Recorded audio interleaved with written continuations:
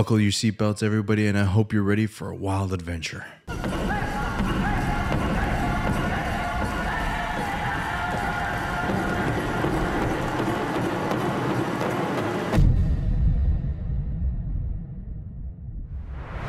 Ahonyate, everybody. Welcome back to another episode of Shanclen Shadow Productions.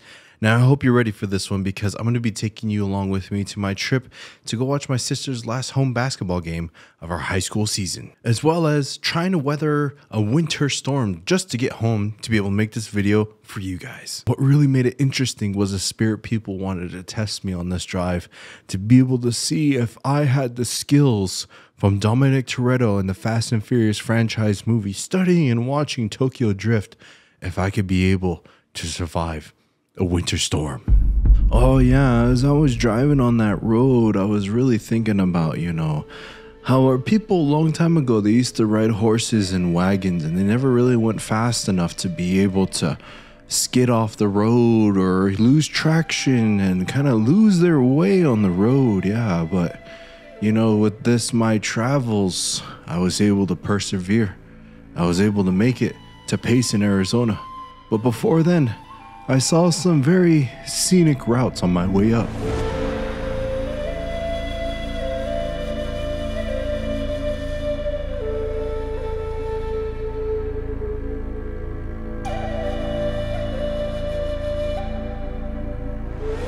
As I was rolling through the mountains and the valleys of from Phoenix, Arizona to Payson, Arizona, there was a storm that rolled by that day, real fierce, real powerful, really went across the sky like that. And it went all the way up north, and you could see at the very tips of the mountains in Phoenix, Arizona, you could see those clouds moving across right there. And I've only seen stuff like that on Brother Bear, and I was thinking, somebody's turning into a bear up there. Or it could just be some rain. But as we're going, we made the journey all the way to Payson, and that's when we got hit with a wall of snow. So, as my electrical pony needed some extra sparks, we pulled off and we started charging there for about good five, ten minutes. Yeah. So I went into the subway, got a sandwich, came back, and we made our way up north. Oh, made it to Payson. It's really coming down. Gotta love the snow. Being in Phoenix, I thought winter was over, but guess not. It's pretty good. Oh, But then, that was when I only realized that our journey, our travels, and our struggles had only just begun. We started making our way up the hill, up the mountains, up the roads, and everything. And the snow, man, really started coming down on us. And I remember at this one point, right after this clip right here,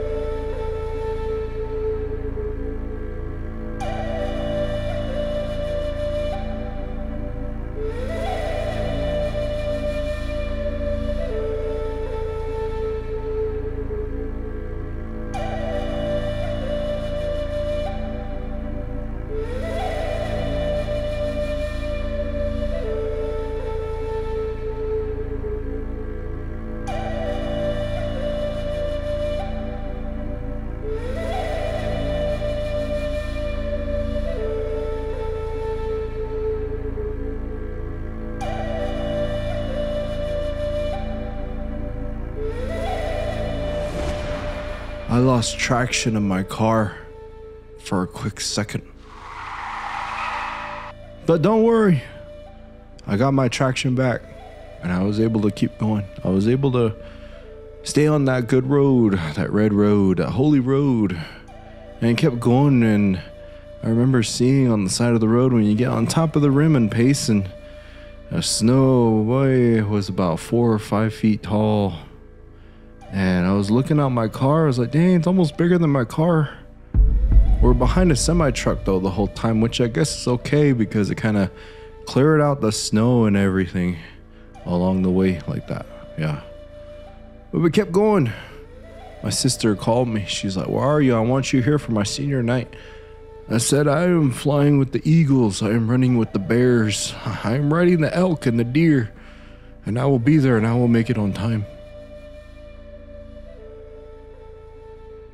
With the wisdom of the birds, the eagles and the crows and the hawks and the, the holy hamsters, I floored it after I passed the semi truck and I kept going. Oh boy, once you pass Heber, Arizona, just real nice and sunny. You just you weathered the storm. The spirit people shined their heavenly light on me from the sun, and they told me, "Your journey is almost complete. We will bless you the last 20, 30 minutes of your drive. Now haul ass so you can make it in time for your sister's senior night." So we kept driving and we made it with five minutes to spare. It was really good to see my uh, my young eldest sister. She's younger than me, but she's the eldest of the the girls on my family. Made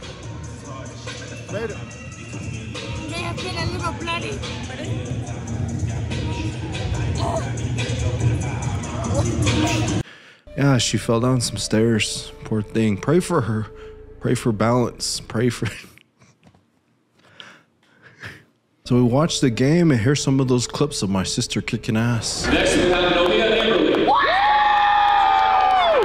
Amberly. She plays position one through five on the court and played for four years on varsity. Favorite high school memory? Making it to the Final Four her sophomore year and Perkins falling in practice her sophomore year. Future plans after high school: continue playing basketball and major in radiology. What is thanks? She's most thankful for a wonderful four years of playing the sport she loves and the support of her parents, and siblings, and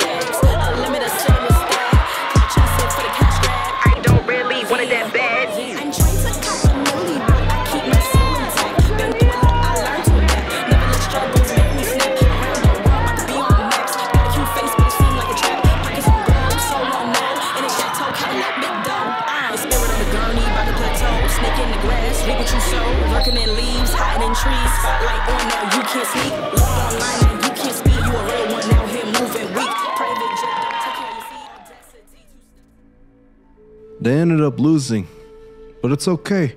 It was a home game, and you know it was it was good to see my little sister be honored as one of the best players that Holbrook High School has on their team currently, leaving a legacy. Both my sisters both left a legacy over in Holbrook, Arizona. The one that you just saw, she's still playing. They qualified for the state uh, state tournament, uh, so they do their first round today. Actually, with this video. They're playing Tuba City. It's gonna be rough. But good luck to you guys. Oh, it was really good to see them. And uh yeah. So I want to congratulate you, little sister. Oh? You had an have having currently an amazing season.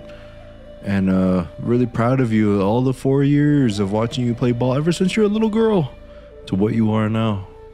You're a very, very awesome basketball player. We'll, we'll see where your journey leads if you go to college to play ball, or you just want to be a lawyer and get your farm out there. Yeah, yeah. You wanna you wanna settle down out there in that old way. You can. Oh, so everybody in the comments, wish my sister good job on her basketball season. Yeah, I'll keep you updated on how they do in state. But first rounds today, so wish her luck, everybody. Go Robert, Holbrook Roadrunners. But my journey did not end there. Yeah. I wanted to come home. After the game and the season was done, I wanted to get a full night's rest, and the next day was Thursday. Yeah.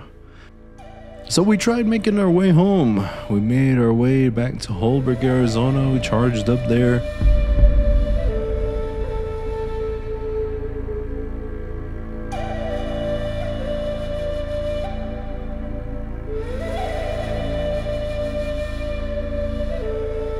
Started making our way down, and it was around 8 o'clock when we made it to Heber, Arizona.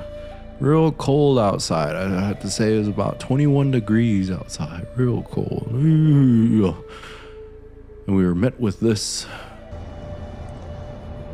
Well, this sucks. Can't even get home. Went out to go see my sister's senior night. Yeah, now I'm stuck up here because of a snowstorm. So I guess we'll have to wait till maybe tomorrow to try to go home back to the valley. But yeah, I'll keep you all updated. Ahoo. Some locals were walking around giving blessings to all the people stuck in the snow. They informed us that those truckers that are right there in that video I just showed you have been stuck there for since three o'clock. It was eight o'clock, so I would have to say five hours. Yeah, if my math is correct. They were there for that long. And in that way, I said, screw that, I'm going home. Ah, so the next day, made my way to Flagstaff, Arizona. I met my grandmother, met my uncle. It was a lot of snow in Flagstaff, so I wanted to say, I wanted to say, hey, I want to fly my drone out. I wanted to see the sights. I wanted you guys to see the beauty that I saw that day. So I went on that road going toward Page, Arizona, and Flagstaff. I pulled off. It was the worst decision I've ever made my entire life. As I pulled off with my excitement to capture the beauty of the snow and the storm, I was driving up a frontage road up toward the mountain with about a good six, seven inches of snow. And with all that snow that was there the next, the day before, the road looked real level and nice. And so I was like, okay, I'm just gonna pull off in case anybody starts coming down this road. And as I pull off, I slip and fall into a trench next to the road, and my poor pony was stuck in the snow. So I tried getting out. Come to find out, my tires are getting bald. As a man, as a warrior, you're supposed to look at your horse's shoes. As a man, you wouldn't even be in that situation if you had a car that wasn't ready for that. But I was a fool. I was I had a childish mind. I was excited for the drone footage. I was stuck. I was lost in the in the world of the snow in the winter. It's cold. So I called my uncle because he was there in town still, and I said, "Hey, you can come drag me out." And he's like, "Uh, give me an hour. I'll be there." Okay. So I was like, "Well, I'm stuck. I can't really do anything. So let me do what I came here for." So enjoy this footage.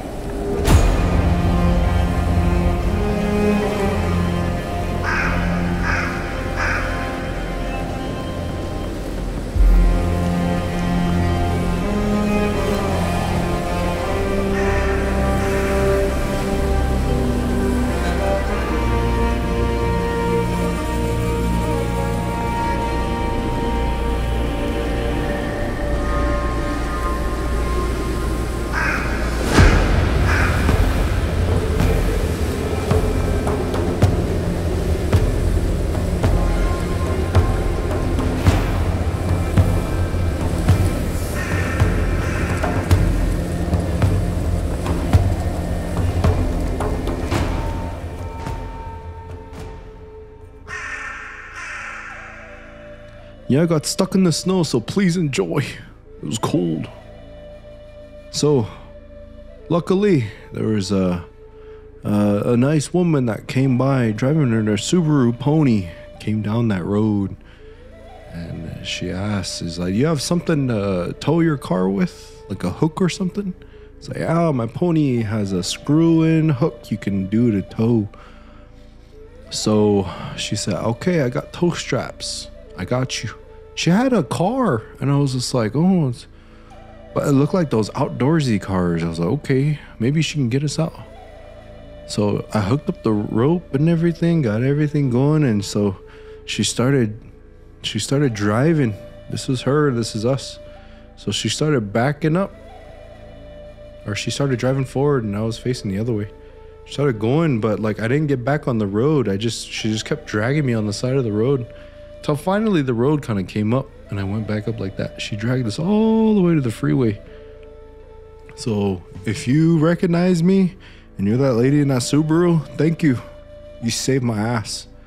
So we got out. I left my tripod there because I this tripod that's right here, I used it as a shovel. I didn't have anything. I was like, there you go, as a man again. I didn't have my tools with me. I felt like a loser. I couldn't be a warrior. So I went out, got my tripod in the snow. You can check out this drone footage of me going out to get the snow or the tripod.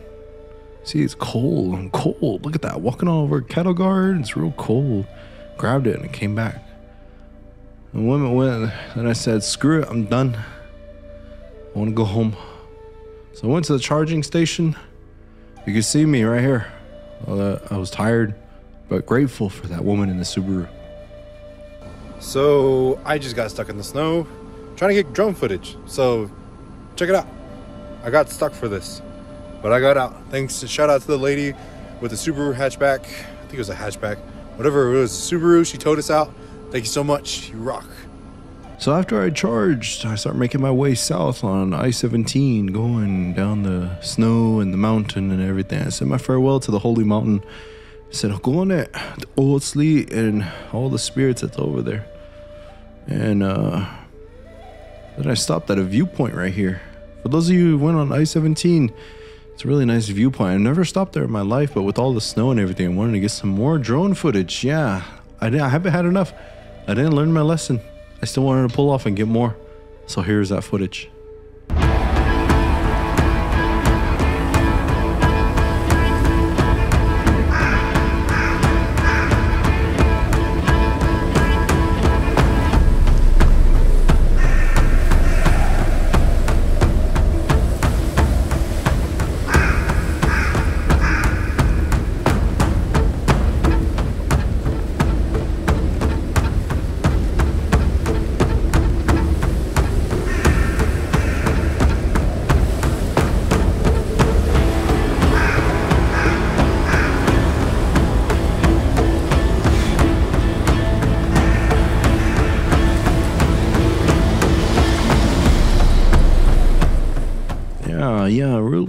Beautiful. Look at that. Yeah.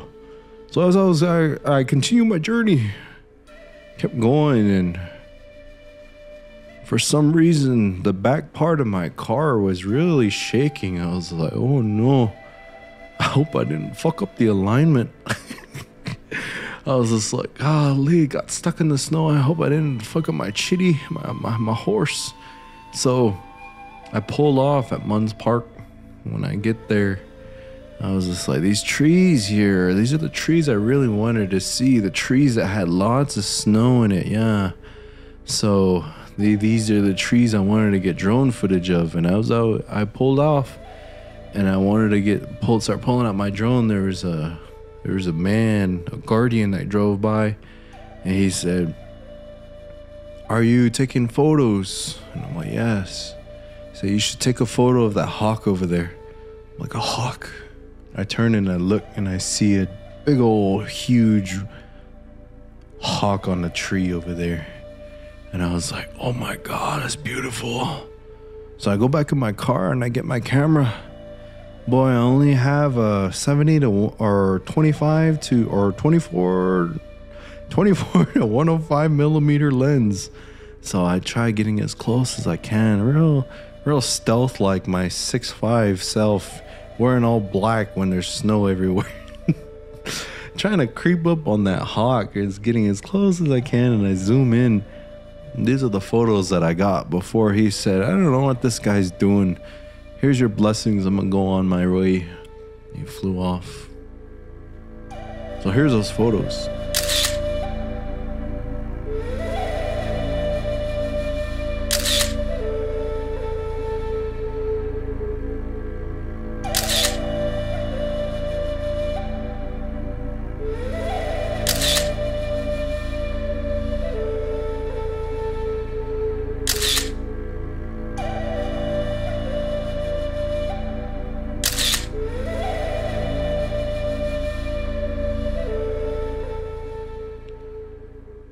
So after he left, I got my drone out and I started flying it around and Loki was kind of terrified he was going to return and try to take the soul of the drone. But he didn't. Uh, here's that footage.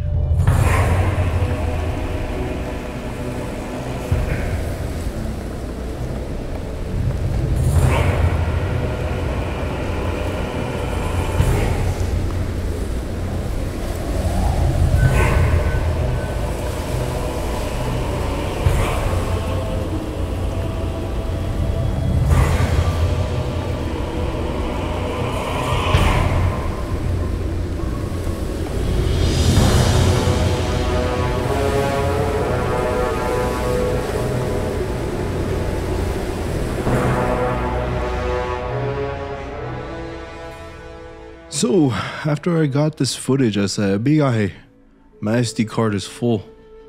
As much as I can do for right now." So I returned home, journeyed home, came back, and I rested up for another day of adventure, another day of editing. The next day, this video right here. So, yeah, I was gifted a guitar over my trip too. So, probably be making videos about that here pretty soon. But ho, this isn't one of those traditional episodes I normally do, yeah. But if you like this format, if you really like the traditional episodes, the traditional language, let me know in the comments, yeah. And remember, if you're not a member, become a member right now to my YouTube channel. You get these really cool badges, perks to my channel, exclusive videos I'm going to be making very soon this week. Live chat members, so my live live streams, love streams. And yeah, so thank you guys so much for watching. Be sure to like, share, and subscribe. Go check out my Instagram, official Shanclen SSP, and that oh way. Go follow, go subscribe for all my updates on upcoming videos. I got some real spooky paranormal videos coming up next couple days, maybe weeks. But yeah, I hope you guys enjoyed my weekend trip with me. And it was very adventurous and I learned a lot on that trip. It was very humbling in that oh way. So I want to say that much. I want to say thank you so much for watching. Hope you have a great morning, evening, afternoon, wherever you are. And I'll see you in the next one. Night. I didn't have a deep voice today, so I just ran with it. Traditional voice, going with it, going with it. Takes a lot. I just, I aged like 10, 10, 20 years from that. I'm gonna be a fun grandpa. Oh, it's gonna be a cold one for sure. Gotta make sure I'm lined up. You see, when I take these tripods and everything, like I only have one tripod. So whenever I come back, I have to reset it up, remake it like look good. I was thinking about getting like a permanent marker, marking it at the sections just so it's the same every single time. Or I can just get another tripod, but that's a whole nother story. Show the Shang Shuxi Clean production. uh, goddamn. Oh, not Everybody, it's cold. Sub Zero.